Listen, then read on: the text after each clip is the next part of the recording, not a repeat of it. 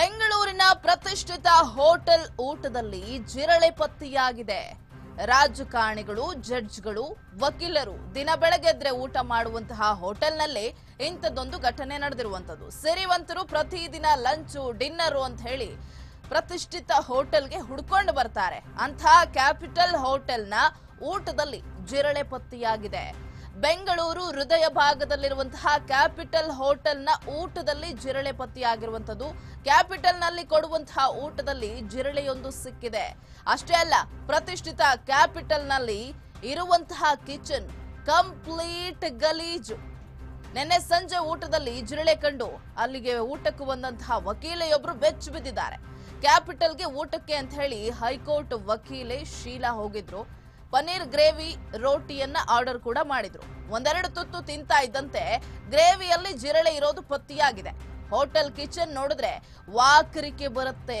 Hotel ಪಾತ್ರೆಯನ್ನ ತೊಳೆದು ಎಷ್ಟು ದಿನವಾಯಿತು ಅನ್ನುವ ಸ್ಥಿತಿಯಲ್ಲಿದೆ. ಇನ್ನು ಹೋಟೆಲ್ ಸಿಬ್ಬಂದಿಯನ್ನ ತರಾಟೆಗೆ ತೆಗೆದುಕೊಂಡಿದ್ದಾರೆ ವಕೀಲೆ ಶೀಲಾ. ಉಡಾಫೆ ಉತ್ತರವನ್ನ ಕೊಟ್ಟು ಬೇರೆ ಊಟ ನೀಡೋದಾಗಿ ಅಲ್ಲಿನ ಸಿಬ್ಬಂದಿ ಹೇಳಿದ್ದಾರೆ. ಆದ್ರೆ ಹೋಟೆಲ್ ಕಿಚನ್ಗೆ ಹೋಗಿ ಅಲ್ಲಿನ ಗಲೀಜನ್ನ ಕಂಡು ಗರಂ ಆಗಿದ್ದಾರೆ ವಕೀಲೆ ಶೀಲಾ. ಕ್ಯಾಪಿಟಲ್ ಕಿಚನ್ಗಿಂತಲೂ ಕೂಡ ರಸ್ತೆ ಬದಿ ಹೋಟೆಲ್ಗಳೇ ಲೇಸು ಅಂತ ಹೇಳಿದ್ದಾರೆ. ಇನ್ನು ಕ್ಯಾಪಿಟಲ್ ಹೋಟೆಲ್ ವಿರುದ್ಧ ವಿಧಾನಸೌಧ ಠಾಣೆಗೆ ವಕೀಲೆ ದೂರನ್ನ ಕೂಡ ಕೊಟ್ಟಿದ್ದಾರೆ. ಹೋಟೆಲ್ನಲ್ಲಿ ಇದ್ದಾಗಲೇ ಫುಡ್ ಇನ್ಸ್ಪೆಕ್ಟರ್ಗೂ ಕಾಲ್ ಮಾಡಿ ಅದರ ಬಗ್ಗೆ ಮಾಹಿತಿಯನ್ನ ಕೊಟ್ಟಿದ್ದಾರೆ. ಅವ್ರು ಬರೋ ತಡವಾಯಿತು ಅಂತ ಹೇಳಿ ತಾವೇ ಖುದ್ದಾಗಿ ಹೋಗಿ ಹೋಟೆಲ್ ವಿರುದ್ಧ ಕಂಪ್ಲೇಂಟ್ ಅನ್ನ ಕೂಡ ಕೊಟ್ಟಿರುವಂತದ್ದು ಗಮನಿಸ್ತಾ ಇದ್ದೀವಿ. ಅಲ್ಲಿನ ಹೋಟೆಲ್ ಪರಿಸ್ಥಿತಿ ಯಾವ ರೀತಿ ಇದೆ ಅಂತ ಹೇಳಿ ಗಲೀಜ್ ಗಲೀಜಾಗಿ ಇಟ್ಕೊಂಡಿರುವಂತದ್ದು ತಾವು ಆರ್ಡರ್ ಮಾಡಿದಂತಹ ಗ್ರೇವಿಯಲ್ಲಿ ಜಿರಳೆ ಕೂಡ ಪತ್ತಿಯಾಗಿದೆ. ಆ ಜಿರಳೆಯ ವಿಜುವಲ್ ಅನ್ನ ಕೂಡ ನೋಡ್ತಾ ಇದ್ದೀವಿ. ಹೈಕೋರ್ಟ್ ವಕೀಲೆಯೊಬ್ರು ಅಲ್ಲಿ ಊಟಕ್ಕೆ ಹೋಗ್ತಾರೆ. ಶೀಲಾ ಅನ್ನುವಂತಹ ವಕೀಲೆಯವರು. ಊಟಕ್ಕೆ ಹೋಗಿ ಆರ್ಡರ್ ಕೂಡ ಮಾಡ್ತಾರೆ ರೋಟಿ ಹಾಗೆ ಪನ್ನೀರ್ ಗ್ರೇವಿ. ಆದರೆ ಆ ಗ್ರೇವಿಯಲ್ಲಿ ಜಿರಳೆ ಇರೋದು ಒಂದೆರಡು ತುತ್ತು ತಿಂದಾದ್ಮೇಲೆ ಗೊತ್ತಾಗುತ್ತೆ. ಅದು ನೋಡಿ ಬೆಚ್ಚ ಬೀಳ್ತಾರೆ, ಅಯ್ಯೋ, ಇಂತಹ ಹೋಟೆಲಲ್ಲೂ ಇಂಥದ್ದೊಂದು ಘಟನೆ ಆಗತ್ತಾ? ಇಷ್ಟು ಗಲೀಜಾಗಿ ಇಟ್ಕೊಳ್ತಾರಾ? ಅಂತ ಹೇಳಿ ತಕ್ಷಣ ಅಲ್ಲಿನ ಸಿಬ್ಬಂದಿಯನ್ನ ಕರೆದು ಗಲಾಟೆ ಮಾಡ್ತಾರೆ. ಏನಿದು ಈ ರೀತಿಯಾಗಿ ಊಟವನ್ನ ಕೊಟ್ಟಿದ್ದೀರಿ? ಅಂತ ಹೇಳಿ, ಆದ್ರೆ ಅಲ್ಲಿನ ಸಿಬ್ಬಂದಿ ಕೊಡುವಂಥದ್ದು ಉಡಾಫೆ ಉತ್ತರ ಬೇರೆ ಊಟ ಕೊಟ್ಬಿಡ್ತೀವಿ ಬಿಡಿ, ಏನೋ ಮಿಸ್ ಆಗಾಗಿದೆ ಹಂಗೆ. ಹೆಂಗ್ರಿ ಮಿಸ್ ಆಗಾಗತ್ತೆ? ಇದೇನು ನಾರ್ಮಲ್ ಬೀದಿ ಬದಿ ಹೋಟೆಲ್ಲ ಬೀದಿ ಬದಿ ಹೋಟೆಲ್ಗಳೇ ಎಷ್ಟೋ ಚೆನ್ನಾಗಿರುತ್ತೆ ಕ್ಲೀನ್ ಆಗಿ ಇಟ್ಕೊಂಡಿರ್ತಾರೆ. ಅದಕ್ಕಿಂತ ಕಡಿಮೆ ಇದು, ಅದಕ್ಕಿಂತ ಗಲೀಜಾಗಿ ಇಟ್ಕೊಂಡಿದ್ದಾರೆ ಅಂತ ಹೇಳಿ ವಕೀಲೆಯವರೇ ಅವರು ಕೆಂಡ ಕಾರಿದ್ದಾರೆ ಜೊತೆಗೆ ವಿಧಾನಸೌಧ ಪೊಲೀಸ್ ಠಾಣೆಯಲ್ಲಿ ಕಂಪ್ಲೇಂಟ್ ಕೂಡ ಕೊಟ್ಟಿದ್ದಾರೆ. ದಿನ ಬೆಳಗಾದ್ರೆ ಸಾಕು, ರಾಜಕಾರಣಿಗಳಾಗಿರಬಹುದು, ವಕೀಲರಾಗಿರಬಹುದು, ಜಡ್ಜ್ಗಳಾಗಿರಬಹುದು. ದೊಡ್ಡ ದೊಡ್ಡವರು ಸಣ್ಣ ಸಣ್ಣವರೆಲ್ಲ ಇಲ್ಲಿ ಹೋಗಿ ಊಟ ಮಾಡೋಕ್ಕಾಗಲ್ಲಪ್ಪ, ಯಾಕಂದ್ರೆ ಬಲು ದುಬಾರಿ. ಆ ದುಬಾರಿ ಊಟದಲ್ಲೇ ಈ ರೀತಿ ಮಾಡ್ತಾರೆ ಅಂತ ಹೇಳಿದ್ರೆ ಜಿರಳೆ ಪತ್ತಿ ಆಗತ್ತೆ ಅಂತ ಹೇಳಿದ್ರೆ ಇನ್ನದೆಷ್ಟು ಗಲೀಜಾಗಿ ಇಟ್ಕೊಂಡಿರ್ಬೇಡ ಇವರು.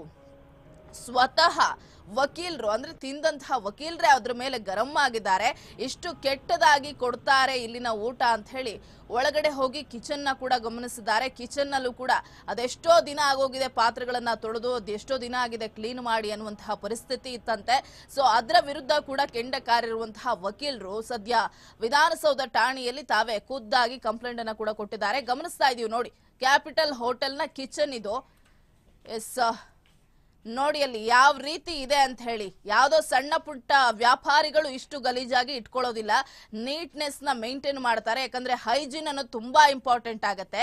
ಆದ್ರೆ ಅಲ್ಲಿನ ಪರಿಸ್ಥಿತಿಯನ್ನ ನೋಡಿ ನಿಜವಾಗ್ಲೂ ಅವರೇ ಬೆಚ್ಚು ಬಿದ್ದಿದ್ದಾರೆ. ಜೊತೆಗೆ ಅದ್ರ ಬಗ್ಗೆ ಅವರೇ ಮಾತನಾಡಿದ್ದಾರೆ. ಹಾಗಿದ್ರೆ ಏನ್ ಹೇಳಿದ್ದಾರೆ ಹೋಟೆಲ್ನ ಪರಿಸ್ಥಿತಿ, ಕಿಚನ್ನ ಪರಿಸ್ಥಿತಿ ಅದರಲ್ಲೂ? ಅದ್ರ ಬಗ್ಗೆ ಏನ್ ಹೇಳಿದ್ದಾರೆ ನೋಡೋಣ.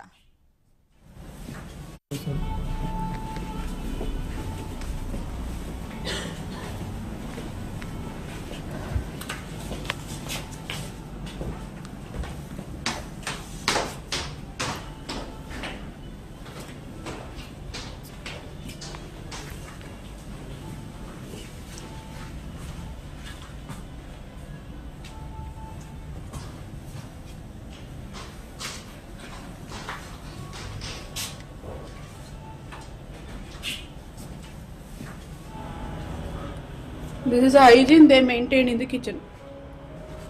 Food will be prepared over here. Hello? Ma'am, please come, ma'am. Video ಮಾಡ್ಬಿಟ್ಟು ಬರ್ತೀನಿ ರೀ ಬೇರೆಯವ್ರಿಗೂ ಗೊತ್ತಾಗ್ಬೇಕಲ್ವಾ